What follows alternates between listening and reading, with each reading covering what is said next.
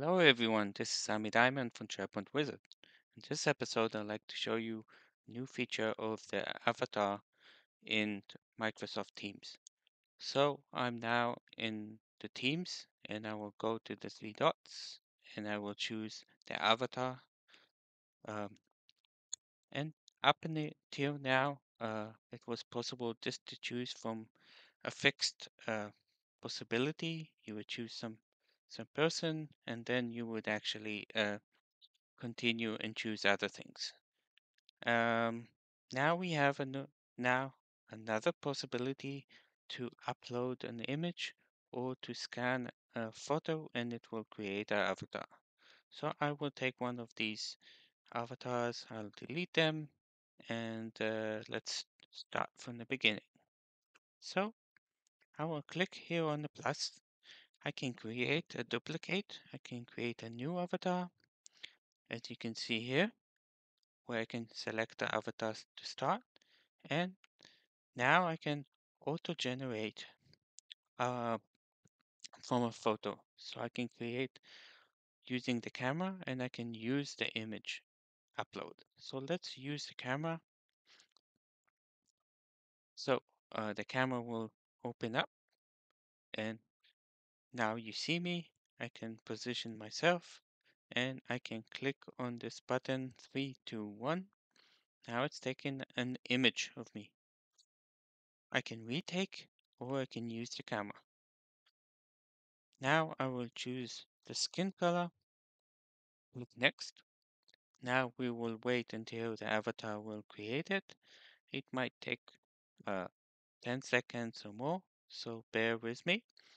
Uh, the other possibility will be actually to upload a photo. So I'll take a photo and the idea is that um, this should help uh, the avatar to look more like uh, you are in reality and not just uh, a guess. But uh, it will never be exactly, but uh, you know, it's trying to show more or less uh, how it is. So we'll be in a second ready. Here we are.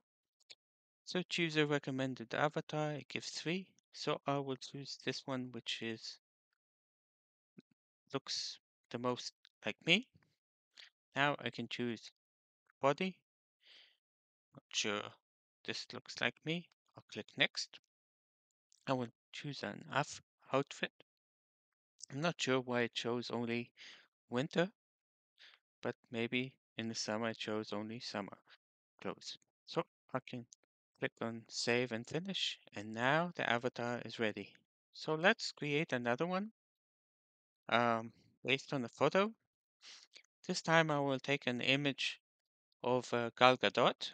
Uh, here are the requirements. Uh, it needs to be a JPEG or PM, uh, PMP or PNG resolution, and uh, you can see other things. So I'll choose this image of Gal Gadot, and I will say let's use it, and it should. Let's choose a skin color.